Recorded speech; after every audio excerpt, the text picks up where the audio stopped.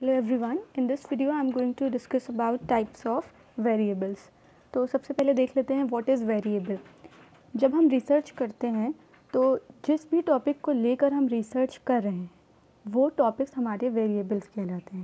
For example अगर हम mental health और इमोशनल इंटेलिजेंस के बीच में कोई स्टडी कर रहे हैं, कोई रिलेशनशिप देखना चाह रहे हैं, ठीक है तो मेंटल हेल्थ और इमोशनल इंटेलिजेंस हमारे वेरिएबल्स हो जाएँगे. जिस भी टॉपिक को लेके हम रिसर्च कर रहे होते हैं, उन्हें वेरिएबल्स कहते हैं। कोई भी ऐसी चीज़ जिसे हम मेजर कर सकते हैं, हम मेंटल मेंटल हेल्थ को मेजर कर सकते हैं इमोशनल इंटेलिजेंस को मेजर कर सकते हैं intelligence I Q anxiety aptitude achievement कुछ भी जिस पे हम रिसर्च कर रहे होते हैं, उन्हें हम मेजर कर सकते हैं और वो हमारे रिसर्च के वेरिएबल्स होते हैं। नेक्स्ट टाइप्स होते हैं तो बेसिक टाइप्स होते हैं इंडिपेंडेंट वेरिएबल और डिपेंडेंट वेरिएबल इंडिपेंडेंट वेरिएबल वो वेरिएबल्स होते हैं जिनका इफ़ेक्ट हम देख रहे होते हैं किसी दूसरी चीज़ पर। मान लीजिए हम यहाँ पे एग्जांपल है effect of presence of others on performance हमने ये स्टडी कर रहे हैं कि हम ये देखना चाह रहे हैं कि दूसरों का प्रेजेंस ऑफ़ अदर्स का परफॉर्मेंस पे क्या इफ़ेक्ट पड़ता है। तो प्रेजेंस ऑफ़ अदर्स यहाँ पे इंडिपेंडेंट वेरिएबल हो गया। और परफॉर्मेंस हमारा डिपेंडेंट वेरिएबल हो गया। जिस चीज़ का हम इफ़ेक्ट देख रहे होते हैं, वो इंडिपेंडेंट वेरिएबल होता है और जिस पर हम इफ़ेक्ट देख रहे होते हैं, वो डिपेंडेंट वेरिएबल होता है। यहाँ पे हम प्रेजेंस ऑफ़ अदर्स का इफ़ेक्ट देख रहे हैं तो ये इंडिपेंडेंट वेरिएबल हो गया। किस पर देख रहे हैं? परफॉर्मेंस पे देख रहे हैं तो परफॉर्मेंस हमारा डिपेंडेंट वेरिएबल हो गया। इंडिपेंडेंट वेरिएबल को तीन तरह से कैटेगराइज किया जा सकता है। फ़र्स्ट इज़ टास्क वेरिएबल जब कोई भी टेस्ट हम कर रहे होते हैं या कोई एक्सपेरिमेंट कर रहे होते हैं तो जो फ़िज़िकल पार्ट होता है उस टास्क का, मान लीजिए हम एक मेज़ बोर्ड हमने लिया और उस मेज़ बोर्ड में हमने एक हमारा जो सब्जेक्ट है उसको ब्लाइंड फोल्ड करा, उसके बाद हमने उसे पेन दिया और उसको बोला कि तुम्हें स्टार्ट पॉइंट से जो गोल पॉइंट है, वहाँ तक जाना है विदाउट डूइंग एनी एरर। तो हम उसका वो पहला ट्रायल में ज़्यादा एरर करेगा, फिर दूसरे ट्रायल में थोड़ा कम एरर करेगा, लास्ट ट्रायल तक वो कोई भी बिना एरर करे फ़र्स्ट पॉइंट से लास्ट पॉइंट तक पहुँच जाएगा। नाउ सपोज़ जो मेज़ बोर्ड है, वो बहुत ही ईजी है. ईजी का मतलब कि उसमें बहुत ज़्यादा गलत रास्ते नहीं हैं. बहुत ज़्यादा ब्लाइंड एलीज नहीं है. ठीक है? कुछ सिंपल सा एक है, दो चार घुमाव हैं और फिर उसका करेक्ट जो उसका गोल पॉइंट है वो आ जाता है. तो क्या होगा कि जो सब्जेक्ट है वो बिना बहुत ज़्यादा एरर करे अपने फ़र्स्ट पॉइंट से लेके लास्ट पॉइंट तक की पहुँच जाएगा. तो यहाँ पे क्यों वो पहुँच पाया? Because of the nature of the maze board कि जो मेज़ बोर्ड था वो काफ़ी इजी था। वहीं अगर मेज़ बोर्ड में काफ़ी ज़्यादा घुमाव होते, काफ़ी ज़्यादा ब्लाइंड एलीड होते रॉन्ग पाथ होते तो सब्जेक्ट उतने ही ज़्यादा एरर करता और उतने ही ज़्यादा उसको ट्रायल लगते फ़र्स्ट पॉइंट से गोल पॉइंट तक पहुँचने में। तो बिकॉज़ वो मेज़ बोर्ड था यहाँ पर, जिसकी वजह से जो उसकी परफॉर्मेंस थी वो डिले हुई या इम्प्रूव हुई। तो ये जो पार्ट हो गया इसको टास्क वेरिएबल इंडिपेंडेंट वेरिएबल बोलते हैं। नेक्स्ट आता है इन्वायरमेंटल वेरिएबल जो फ़िज़िकल पार्ट के अलावा कुछ ऐसी चीज़ें जो बाहर होती हैं, ठीक है? जैसे जिनका इफ़ेक्ट हम देख रहे होते हैं तो नॉइज़ है। हम नॉइज़ को मैनिपुलेट कर सकते हैं, उसको घटा सकते हैं, बढ़ा सकते हैं। तो नॉइज़ हमारा इंडिपेंडेंट इन्वायरमेंटल वेरिएबल होगा, जो इन्वायरमेंट में चीज़ें प्रेजेंट है और जिसका इफ़ेक्ट हम देख रहे हैं डीवी पर। तो फॉर एग्ज़ाम्पल हम आ, कुछ डिक्टेशन टेस्ट मान लो ले रहे हैं और हम ये देखना चाह रहे हैं कि क्या नॉइज़ का इफ़ेक्ट डिक्टेशन टेस्ट पे डिक्टेशन पे या करेक्ट स्पेलिंग पे क्या पड़ता है। तो नॉइज़ को हम घटाएँगे बढ़ाएँगे। तो नॉइज़ हमारा इंडिपेंडेंट इन्वायरमेंटल वेरिएबल होगा और इंडिपेंडेंट वेरिएबल होगा जिसका इफ़ेक्ट हम डिपेंडेंट वेरिएबल पे देख रहे हैं। वहीं टेम्परेचर लाइट ये सारी चीज़ें इन्वायरमेंटल वेरिएबल्स के अंदर आ जाती हैं जिसका इफ़ेक्ट हम डी पे देख रहे हो। सब्जेक्ट वेरिएबल में वो वेरिएबल्स होते हैं जो सब्जेक्ट से रिलेटेड होते हैं। अगर हम किसी के एज सेक्स वेट एनजाइटी इनका इफ़ेक्ट देखना चाह रहे हैं किसी भी चीज़ पे तो सब्जेक्ट रिलेटेड जो वेरिएबल्स होते हैं, जो ह्यूमन या ह्यूमन के अंदर होते हैं तो वो वेरिएबल्स हमारे सब्जेक्ट वेरिएबल इंडिपेंडेंट वेरिएबल कहलाते हैं। अब इंडिपेंडेंट वेरिएबल में टाइप ई e और टाइप एस दो तरह के टाइप्स आ जाते हैं। टाइप ई इंडिपेंडेंट वेरिएबल्स वो वेरिएबल्स होते हैं जिनको रिसर्चर डायरेक्टली मैनिपुलेट कर लेता है और उसके बाद उसका इफ़ेक्ट देखता है डिपेंडेंट वेरिएबल पे। वहीं टाइप एस वेरिएबल्स वो होते हैं जिन्हें एक्सपेरिमेंटर डायरेक्टली मैनिपुलेट नहीं कर सकता है। अब फॉर एग्ज़ाम्पल यहाँ पे जैसे कि हमने इन्वायरमेंट वेरिएबल की बात करी थी नॉइस टेम्परेचर लाइट ठीक है? तो ये क्या है? ये टाइप ई इंडिपेंडेंट वेरिएबल है। मतलब जो रिसर्चर है, वो नॉइस को टेम्परेचर को लाइट को अपने हिसाब से घटा कर बढ़ा कर उसका इफ़ेक्ट देख सकता है डिपेंडेंट वेरिएबल पर। ठीक है? वहीं type S variables for example sex age weight ये सारी चीज़ें टाइप एस वेरिएबल में आ जाती हैं कि अगर मान लीजिए हमें ये टेस्ट करना है कि ओबेसिटी का इफ़ेक्ट क्या पड़ता है? सेल्फ एस्टीम पर। ठीक है? जो ओबीज़ लोग होते हैं, उनका सेल्फ एस्टीम कैसा होता है? तो अभी हम किसी को खिला पिला के मोटा नहीं करेंगे। हम ऑलरेडी एग्जिस्टिंग वो लोगों को अपने रिसर्च में लेंगे जो ऑलरेडी ओबीज़ हैं। ठीक है? तो आ, वो वेरिएबल्स जिसको रिसर्चर मैनिपुलेट नहीं कर सकता है इसलिए उसको ऐसे वेरिएबल्स ही मतलब ऐसे सब्जेक्ट्स या को ही सेलेक्ट करना पड़ता है जो उसकी रिक्वायरमेंट को फुलफ़िल ऑलरेडी कर रहे हों। हम किसी को ओबीस नहीं कर सकते हैं, बल्कि हम उन्हीं लोगों को रिसर्च में लेंगे जो ऑलरेडी ओबीस हैं।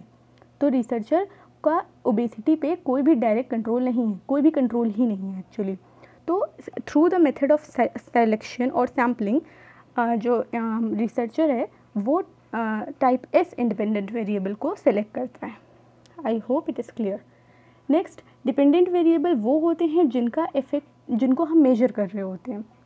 यानी कि जिस पर हम असर देख रहे होते हैं। तो जैसे effect of presence of others का हम इफ़ेक्ट देख रहे हैं परफॉर्मेंस पे, ठीक है? क्लासरूम मान लीजिए हम आईक्यू का इफ़ेक्ट देख रहे हैं क्लासरूम अचीवमेंट पर, कि आईक्यू किस, जिसका ज़्यादा होता है उसकी क्लासरूम अचीवमेंट कैसी होती है? तो हम किसको मेजर कर रहे हैं? हम क्लासरूम अचीवमेंट को मेजर कर रहे हैं।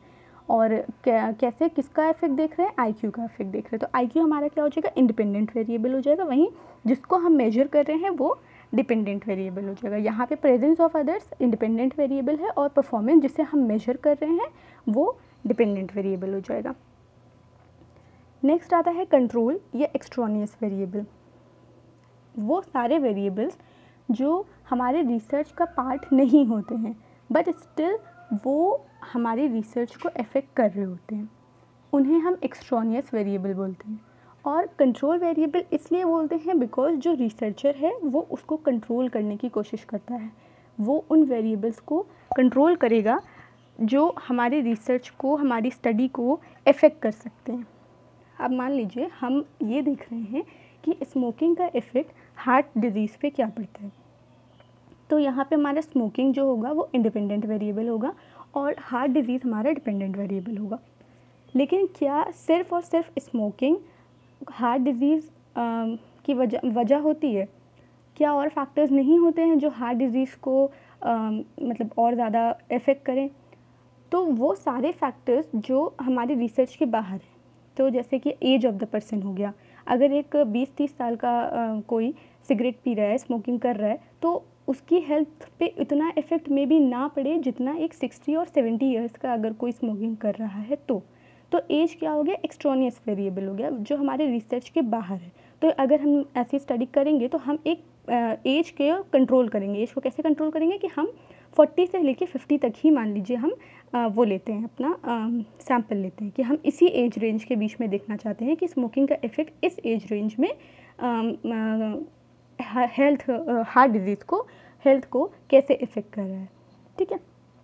और या जैसे डाइट हो गई ठीक है? तो ये सारे फैक्टर्स हमारे रिसर्च के बाहर है, जो रिज़ल्ट को इन्फ्लुएंस करते हैं और क्योंकि ये बाहर होते हैं और इनको एक्सपेरिमेंटर कंट्रोल करता है, इसलिए इसको कंट्रोल वेरिएबल बोलते हैं। अब ऑर्गेनिज्मिक वेरिएबल इसका first type subject related variable जो भी सब्जेक्ट रिलेटेड वेरिएबल्स होते हैं। एक तरह से इनको टाइप एस वेरिएबल भी बोलते हैं, जो भी जिसको सिलेक्शन के थ्रू कंट्रोल किया जाता है। तो जैसे कि मान लीजिए हम क्लासरूम अचीवमेंट को मेजर कर रहे हैं और उसके लिए हमने एक क्लास में एक कुछ टेस्ट दे दिए अब क्या होगा कि जो लोग ज़्यादा हाई इंटेलिजेंस के होंगे उनको वो टेस्ट करना उनके लिए वो टेस्ट इजी होगा और उन वो आ, उनको वो ज़्यादा स्कोर करेंगे। तो इंटेलिजेंस यहाँ पे क्या हो गया कि एक्स्ट्रॉनियस वेरिएबल हो गया। हम इंटेलिजेंस का इफ़ेक्ट नहीं देख रहे थे हम सिर्फ़ क्लासरूम अचीवमेंट को मेजर कर रहे थे। लाइक like, अगर हम ये देख रहे हैं कि पीयर ग्रुप का क्लासरूम अचीवमेंट पे क्या इन्फ्लुएंस हो रहा है तो हम पीयर ग्रुप एक्चुअली देख रहे हैं और क्लासरूम अचीवमेंट देख रहे हैं और हमने उनको एक टेस्ट दिया जिसमें इंटेलिजेंस इंटरफेयर कर रहा है। इंटेलिजेंस की वजह से बच्चे हाई स्कोर कर रहे हैं। बट एक्चुअली हमें पीयर ग्रुप का इन्फ्लुएंस देखना था कि जिनका क्या फ्रेंड सर्कल अच्छा होता है, उनका क्लासरूम अचीवमेंट बेटर होता है, जिनका फ्रेंड सर्कल अच्छा नहीं होता है उनका नहीं बेटर होता है, हम ये चीज़ कुछ ऐसा स्टडी करने की कोशिश कर रहे हैं। लेकिन वो इंटेलिजेंस भी उसको इफ़ेक्ट डालता है। तो ये ऑर्गेनिज्मिक वेरिएबल हो गया। ऑर्गेनिज्मिक इसलिए क्योंकि कोई भी ऐसी चीज़ जो हमारी आ, हमारे अंदर से आ रही हो कोई चीज़ वो वेरिएबल्स ऑर्गेनिज्मिक वेरिएबल कहलाते हैं। अब इसको कंट्रोल करना पड़ेगा। कंट्रोल हम कैसे करेंगे? हम आ, पहले तो इंटेलिजेंस को अलग अलग करेंगे कि हाई इंटेलिजेंस के बच्चों को अलग लो इंटेलिजेंस को अलग। उसके बाद हम इस स्टडी को कंडक्ट करेंगे।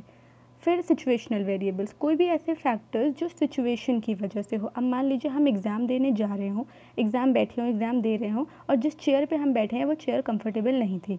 ठीक है तो उसकी वजह से हम हमारा पेपर अच्छा नहीं हो पाया, हमें आता था बट फिर भी नहीं अच्छा हो पाया।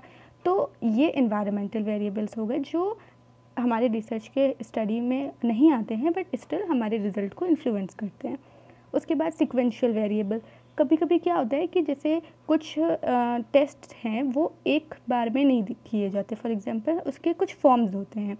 तो पहला फॉर्म करना है, फिर फिफ्टीन मिनट्स का ब्रेक है ट्वेंटी मिनट्स का ब्रेक, फिर कोई दूसरा करना है। तो क्या होगा कि तीसरा करना है, चौथा करना है तो जो सब्जेक्ट होगा, दैट वो उसे that he may be fatigue और he can be, he can show the maturity effect और प्रैक्टिस इफ़ेक्ट। उसको फ़र्स्ट फॉर्म की चीज़ें याद हों, उसी तरह मिलती जुलती कुछ चीज़ें फोर्थ फॉर्म में भी हों। तो ये इफ़ेक्ट करता है रिज़ल्ट को। तो इसको भी कंट्रोल किया जाता है जिसके लिए बहुत सारी अलग अलग डिज़ाइंस होती हैं कि हमें किस तरीके से आ, कैसे सब्जेक्ट को फॉर्म्स देने हैं या किस तरीके से हमें लेंदी सेट्स कराने हैं एक्सपेरिमेंट्स के। तो काउंटर बैलेंसिंग एक डिज़ाइन होती है जिसको जिससे हम प्रैक्टिस या फिटीक को कंट्रोल कर सकते हैं। नेक्स्ट आता है कन्फाउंडिंग वेरिएबल जब एक्सट्रॉनियस वेरिएबल इंडिपेंडेंट वेरिएबल के साथ जुड़ जाते हैं और फिर डिपेंडेंट वेरिएबल को इफ़ेक्ट करते हैं।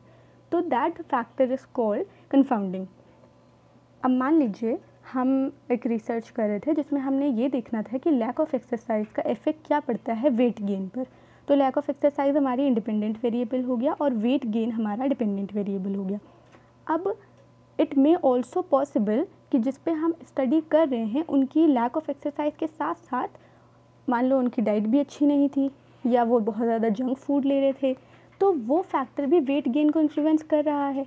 बट हमारा कंसर्न तो जंक फ़ूड नहीं है, हमारा कंसर्न सिर्फ़ लैक ऑफ़ एक्सरसाइज देखना है। बट स्टिल डाइट एक ऐसा फैक्टर है जो एक्सरसाइज के साथ लैक ऑफ़ एक्सरसाइज के साथ जुड़कर वेट गेन को इन्फ्लुएंस कर रहा है। तो डाइट हमारी यहाँ पे क्या हो गया? Confounding variable. कोई भी ऐसा फैक्टर जो हमारे इंडिपेंडेंट वेरिएबल के साथ मिल जाए और जिनको हम अलग अलग ना कर पाएँ और वो डिपेंडेंट वेरिएबल को इन्फ्लुएंस करें तो वो फैक्टर जो अलग से जुड़ रहा है that is called confounding variable अब बात करते हैं क्वालिटेटिव वेरिएबल्स की। क्वालिटेटिव वेरिएबल को कैटेगोरिकल वेरिएबल भी कहते हैं। कोई भी ऐसी चीज़, कोई भी ऐसा वेरिएबल जिसको हम कैटेगरी वाइज डिवाइड कर सकें एग्ज़ाम्पल के लिए नेशनैलिटी, इंडियन, अमेरिकन, अफ्रीकन, कुछ भी, रेस, रिलीजन तो जब हम ऐसी चीज़ों को कैटेगरी वाइज डिफाइन डिवाइड कर देते हैं, उनको क्वालिटेटिव वेरिएबल्स बोलते हैं। इन वेरिएबल्स को हम जैसे कि किस, ऐसा नहीं बोल सकते कि male is greater than female, ठीक है? क्यों? क्योंकि ये क्वांटिटेटिव नहीं है।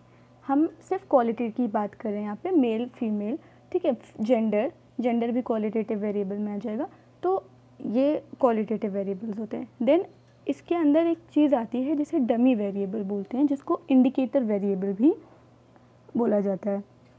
जब हमें एक क्वालिटेटिव वेरिएबल को न्यूमेरिकल वैल्यू देनी हो तो उसको हम डमी वेरिएबल बोलते हैं।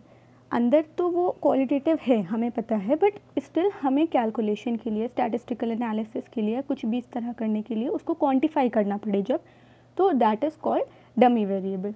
अभी मान लो अगर हम आ, ये देखना है कि जो आ, कोई फॉर्म है मान लो ऑनलाइन है या जैसा भी है तो उसमें अगर जो सब्जेक्ट है वो वन डाल रहा है ठीक है वन डाल रहा है तो इसका मतलब कि वो ओबीसी कैटेगरी में आता है। यहाँ पे अगर हम ये देखना चाह रहे हैं कि रिज़र्व कैंडिडेट्स क्या हैं ठीक है कितने हैं रिज़र्व कैंडिडेट्स?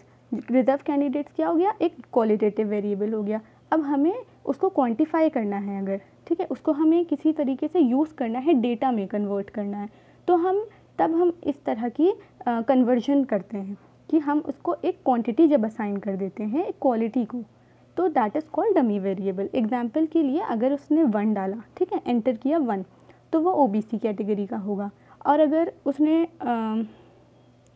टू डाला, यहाँ पे टू होगा सॉरी अगर उसने टू डाला तो वो एस सी एस टी का हो गया ठीक है। अब मान लो वो थ्री नहीं डालता है ठीक है तो वो जनरल कैटेगरी का होगा। सिंपली इसका मतलब ये है कि मान लो तीन ऑप्शन दिए हैं X one X two X three ठीक है? अब एक्स वन के आगे अगर उसने वन डाला तो इसका मतलब वो ओ बी सी कैटेगरी में आता है। अगर एक्स वन के आगे कुछ भी नहीं है या ज़ीरो है तो इसका मतलब वो ओ बी सी कैटेगरी में नहीं है, कुछ और है। वहीं फिर नेक्स्ट एक्स टू ठीक है? एक्स टू में अगर उसने वन डाला तो इसका मतलब वो एस सी या एस टी कैटेगरी का है। वहीं अगर एक्स टू में कुछ भी नहीं पड़ा है या ज़ीरो पड़ा है तो इसका मतलब वो कुछ और है। अब मान लीजिए, अगर उसने एक्स वन में वन डाला तो यानी कि वो ओ बी सी कैटेगरी का हो गया। एक्स टू में उसने वन डाला तो वो एस सी एक्स टी का हो गया। अगर दोनों ही में कुछ नहीं पड़ा है तो एक हमारा जो लास्ट ऑप्शन बचता है जनरल कैटेगरी उसके लिए हमको कुछ देने की ज़रूरत नहीं है, कुछ बनाने की ज़रूरत नहीं है, क्योंकि ऑटोमेटिकली अगर वो एक्स वन और एक्स टू में ही ज़ीरो ज़ीरो डाल रहा है तो उसका मतलब कि वो जनरल कैटेगरी का आता है। So this was just a simple example इससे आपको कुछ लेना देना नहीं है। डमी वेरिएबल का सिंपली मतलब है कि जब हम किसी क्वालिटी क्वालिटेटिव वेरिएबल्स को कन्वर्ट करते हैं स्टैटिस्टिकल एनालिसिस के लिए या किसी भी डेटा में कन्वर्ट करने के लिए, एक न्यूमेरिकल वैल्यू असाइन करने के लिए तो उस वेरिएबल को हम डमी वेरिएबल बोलते हैं, जिसको इंडिकेटर वेरिएबल भी बोला जाता है। उसके बाद क्वांटिटेटिव वेरिएबल जिनको हम क्वांटिफाई कर सकें, जिनको हम ऑर्डर में लगा सकें, जिनको हम मेजर कर सकें कि हाँ इसको हाई क्वांटिटी होगी या लो क्वांटिटी होगी जैसे कि इंटेलिजेंस हाई इंटेलिजेंस होता है लो इंटेलिजेंस होता है। हम बता सकते हैं, हम एक ऑर्डर में लगा सकते हैं कि ये हाई इंटेलिजेंस है, उसके बाद ये लो है। उसी तरह एज भी हम एक इंक्रीजिंग या डिक्रीजिंग ऑर्डर में लगा सकते हैं। इंटेंसिटी ऑफ़ साउंड को भी हम इंक्रीजिंग ऑर्डर या डिक्रीजिंग ऑर्डर में कर सकते हैं। Quantitative variable is anything which are compose of categories that can be ordered in magnitude अब क्वान्टिटेटिव वेरिएबल्स के दो टाइप्स हो जाते हैं कॉन्टीन्यूस और डिस्क्रीट वेरिएबल जिसको हम नेक्स्ट वीडियो में पढ़ेंगे बिकॉज़ दिस वीडियो बहुत लंबी होती जा रही है। Thanks for watching